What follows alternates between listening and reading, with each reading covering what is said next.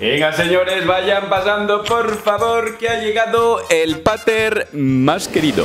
Venga, Dorrito, vaya para adentro que te calzo una hostia que no te recuperas. Hola, chicos, ¿qué tal? Bienvenidos a la parroquia Dorril. Pónganse cómodos que la nave despega. Hola chicos, ¿qué tal? Aprovecho este vídeo para contar noticias sobre nuestra comunidad. Este domingo no hay misa, hay entrevista al empotrador de confianza, el señor Juan Faro. Yo me esperaba una, eh, me esperaba una pregunta, me la esperaba, de hecho la primera, es si ha estado con alguna novia de algún seguidor. ¿Has estado? la entrevista ya la tengo terminada y creo que ha quedado bastante bien. Otra cosita importante, espérate que me ahogo. Nos han dado el verificado en Twitch. Tenemos ya dos verificados. Somos zorros verificados en YouTube y Twitch por fin me ha dado ya el verificado. Se ha rendido ante nosotros y somos somos aptos. Por lo cual seguidme en Twitch que estoy muy motivado con esa plataforma y ahora mucho más porque con el verificado ese yo me pongo intratable. Se me sube la tontería a la cabeza muy rápido. Dicho esto, comenzamos con este maravilloso vídeo que va a ser preguntas y respuestas con alguna decisión extrema. Por lo cual, producción, échatelo. Gracias producción.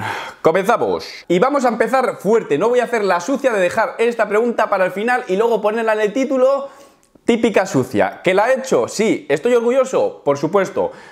Pero esta vez invita a la casa. Esta vez no te la hago. La primera, la más interesante, a tomar por culo. Si luego te quieres ir, irás al infierno. Quédate hasta el final.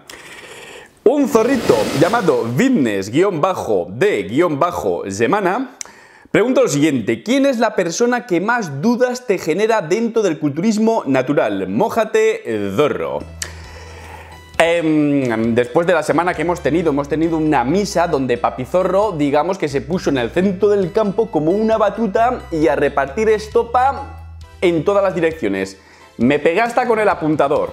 Si tenías algún tipo de relación con el culturismo natural, aunque fueras, yo que sé, el creador de la página web, a ti también te cae. Esta semana, culturismo natural y papizorro en crisis total.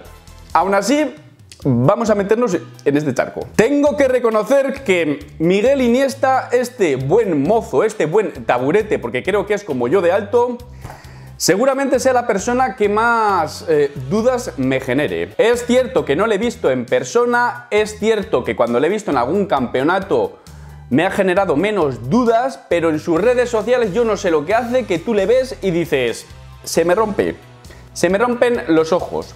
Tú ves algunas publicaciones de sus redes sociales y dices, a tomar por culo.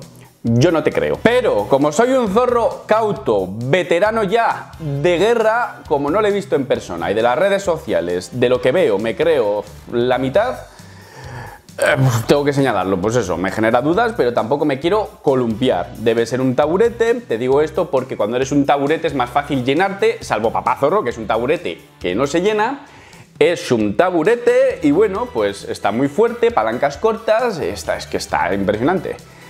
Pero eso me genera dudas. Os calmáis, culturistas naturales, os calmáis. Estoy en mi derecho de tener dudas. Yo no te creo. No, no, es que verás cómo vuelvo a tener problemas. Hay que creer a la gente porque sí, yo no creo ni en mi sombra, ¿no? Hubo un refrán, yo no me fío ni de mi sombra.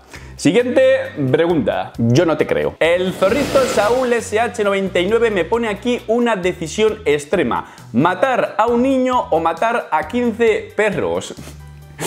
A ver, esta es muy fácil, ¿no? A ver, el niño no muere. El niño no puede morir, por favor, señores. Sé que 15 perros son muchos perros, pero un niño, un niño, un niño es lo más grande que hay en la tierra. Lo siento mucho. Me cargo a los 15 perros, yo qué sé. Es que hay que elegir. No contento con ello, vuelve con otra decisión extrema. Matar a 15 zorros o matar a un lince ibérico. Y es buena pregunta porque el zorro es un animal que se adapta muy bien al medio, ¿vale? Y hay zorros, bueno, bueno, bueno, en todas las partes del mundo, desde el desierto hasta en el Ártico, ¿vale? Somos una gran familia, somos una familia que se adapta al medio y el zorro, el zorro es un gran animal por eso, ¿eh? Los animales que mejor se adaptan a todos los medios son los animales, los putos amos. El zorro es bastante puto amo. ¿Qué es lo que pasa? Que hay muchísimos. En cambio, el lince ibérico es un animal súper protegido porque está en peligro de extinción, tenemos un auténtico felino muy valioso en España, muy bonito, sobre todo en Doñana, ¿vale? Yo estuve por ahí, no vi ninguno, pero lo intenté. Em, es un animal que me encanta y bueno, debido a la escasez de esta criatura y a la abundancia de los doretes, mm, me, me cargo a 15 zorros. 15 zorros os vais a tomar por culo por ahí. El zorrito Silvio Valentino pregunta lo siguiente. ¿Un millón de euros en mano y sin conocimientos o conocimientos sobre cómo lograr el millón? Hombre, a ver, yo creo que un millón, así en el pecho, tal cual, y que no tengas ni puta idea de, hacer dinero, está bien porque con un millón de euros, eh, bueno, claro, pues no tienes ni puta de hacer dinero, a lo mejor luego no inviertes bien. A ver, es que con un millón de euros en mano, si sabes invertir medianamente bien, puedes hacer mucho dinero, ¿vale? Es una buena base para empezar a invertir. Bueno, a ver, ¿qué me lío? Un millón. En el pecho es muy suculento, pero los conocimientos para ganar un millón son los mismos conocimientos para ganar pues, varios, me imagino, ¿no? Entonces, claro, te están dando las herramientas para, para hacer mucho más que un millón de euros. A ver, pues que depende, ¿no? Si eres un poco amarrategui, también puedes pensar, a ver, lo más probable es que en mi puta vida genere un millón de euros. Es que no sé, depende de tu mentalidad. Yo creo que como estoy en modo emprendedor, diría los conocimientos para generar un millón de euros y genero muchísimos millones de euros. Yo creo que sí. El zorrito Bruno-catalán 7 pregunta lo siguiente, ¿seguir con YouTube, Twitch y usar química o volver al ejército pero siendo un nati? A ver, señores. Espérate, que dejo el mando por ahí. Vosotros sabéis de sobra que a mí me gusta mucho ¿no? lo que es el deporte limpio, ¿vale? Sí, aunque me siente con culturetas que utilizan, a mí me gusta el deporte limpio, pero también me gustan las personas que son majas, utilicen o no. Es que esta polémica está, está muy candente. Dicho esto, em, me gusta mucho el deporte limpio, no me gustaría utilizar sustancias salvo que sea uso terapéutico, pero es que volver al ejército me da una pereza que te cagas. Entonces yo creo que seguiría en YouTube y Twitch y os diría, Doretes, tenemos que hablar y me obligan aquí a inyectarme el veneno. El zorrito a lo trombón pregunta lo siguiente, millonario sin ser conocido o youtuber con sueldo normal. Esta es muy fácil, millonario sin ser conocido, o sea, la vida para ti, viajas tranquilamente, pum, pues no sé, me parece bastante, bastante fácil esta. El zorrito Algisder Torres pregunta lo siguiente, desde que dejaste tu trabajo anterior, ¿has tenido algún susto de algún mes cobrar muy poco de YouTube? Ah, tuve una crisis este verano, sí, ya, ya, ya, lo conté. Tuve una crisis, me desmotivé, digamos que el hecho de trabajar en casa, la desorganización fue un auténtico caos. Entonces, mi mal momento emocional repercutió en mi contenido y a la su vez en los ingresos que percibo por mi contenido. Lo que pasa que yo en ese momento tenía, ahora tengo cinco fuentes de ingresos distintas. Tengo canal principal, canal secundario, Twitch, marca de proteínas, marca de ropa. Cinco. En aquel momento tenía cuatro. Entonces tuve un mes muy malo en YouTube porque mi contenido se vio afectado, pero digamos que lo que facturé por la marca de proteínas, Potential Nutrition, digamos que, que súper bien, que fue un buen mes. Entonces cuando tienes varias fuentes de ingresos, que una te vaya mal, no pasa nada si las otras siguen siendo fuertes. Entonces, asustarme como tal, no. Fue un toque de atención y me di cuenta de que tenía que implementar algún tipo de cambio, que fue lo que hice, ponerme unos horarios, ponerme una rutinita flexible, hoy me he echado una siesta, tranquilamente, una duchita, ahora grabo, ahora directo, con tranquilidad. Soy, como me dijo un buen amigo mío, el maquinista, soy mi mejor activo, mi mayor activo. Me tengo que dar mimos para generar más contenido y sobre todo que vosotros percibáis pues, pues que soy una persona feliz. Entonces, desde que me dijo eso, he implementado los mimos. Entonces, una siestica tal, pero con unos horarios flexibles. ¿Qué me enrollo? No, no me asusté demasiado por eso, porque Potential me, me- me salva, me salva bastante bien.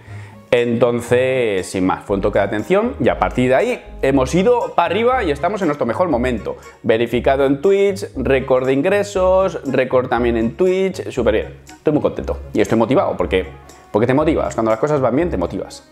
Entonces, pues eso. Gracias, chicos. Estoy cumpliendo un sueño. Gracias a vosotros. He cumplido un sueño. Guiño, guiño. El zorrito Robert-Barberá pregunta lo siguiente. ¿Tienes 10 centímetros a repartir entre radio de los músculos o longitud del miembro? Elige sabiamente. Pues mira, chicos, yo es que lo siento muchísimo. Decid lo que queráis sobre mí, me da exactamente igual. Si algún día tengo que sacarla, la saco. Pero es que yo sobre el tamaño de mi nepe, yo es que estoy muy orgulloso. O sea, es que no tengo ninguna queja. Podría ser un poco más pretencioso y decir, pues venga, a ver, no te voy a decir regalarle uno o dos centímetros pues para fardar más. Has visto, ¿eh? Más, o sea que ya fardo. Ahí te has quedado, ¿eh? A lo mejor uno o dos centímetros, venga, que es innecesario, que no hace falta, pero por, por, porque impresione más, ¿no? Cuando sacas la merienda, pues a lo mejor, venga, le meto un centímetro, venga, un centímetro más ahí, sí, me quedan nueve. Cuatro y medio, cuatro y medio para cada merluza, muy fácil. No me juzguen, déjenme en paz. Si estoy loco es mi problema. Coño. El zorrito 97 Borja Torres pregunta lo siguiente: ¿Un VS eh, sin camiseta, VS Amorosi o VS Airlines? Esta es muy sencilla. El señor Roberto Amorosi debe ser como una torre, debe medir como 1,90 o 1,90 y algo o 1,80 y mucho, da igual, todos me pillan, me pillan muy arriba.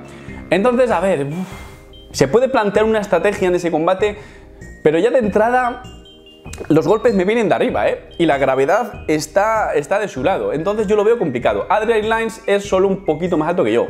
Más alto que yo, pero, pero no mucho. Con Adrian Lines ya mm, lo veo asequible. Entonces, nada, me quedo con Adrian Lines. Es que el otro, el otro es, es bastante grande. Ah, Es que me cago en la puta. Es que ni pegarle puedo. ni pegarle. Solo me queda darle por YouTube. Es que es muy grande ese tío. Y siguiente. El zorrito Sergio Huelga pregunta lo siguiente: ¿que te corten el nepe con tijeras de podar o profanarle el sin esquinas a un zorrito? Vamos a ver, ¿cómo voy a elegir que me, que, que me mutilen? ¿Cómo voy a elegir eso? O sea, yo no quiero profanarle a ningún zorrito. Pero vamos a ver, ¿cómo vas a perder tu miembro? O sea, yo creo que me quedaría sin... Quedarte sin miembro tiene que ser como que ya no tiene sentido nada en la vida. Em, zorritos, a alguno le profano. Le meto ahí toda, toda, le inyecto ahí toda la merienda. Porque es que la otra opción es muy mala. Lo siento, es lo que hay. El zorrito Miguel Carocuach pregunta lo siguiente: ¿Dejarías YouTube y todo lo que ello conlleva por un sueldo vitalicio de 3.000 euros al mes? Es un poco complicada esta pregunta. A ver, 3.000 euros al mes. Te daría una estabilidad que dices tú, para mí la vida, viajas de mochilero por ahí, haces el camino de Santiago 37 veces, te vas a la playita. ah. Pero claro, tendría que buscar algo, porque a mí YouTube me apasiona, lo, mi faceta, mi marca personal me, me apasiona, me hace sentir muy autorrealizado porque me, me me siento como si fuera un empresario de mí mismo, ¿vale?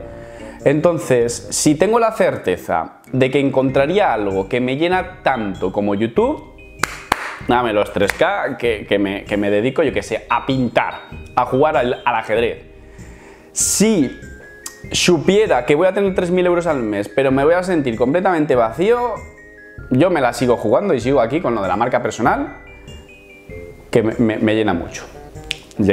La hijita zorrita Lucecita BD83 pregunta lo siguiente: ¿un mes sin internet o un mes sin cagar? La respuesta es muy sencilla: un mes sin internet es igual a un mes sin trabajar y a su vez un mes de vacaciones y de desconexión.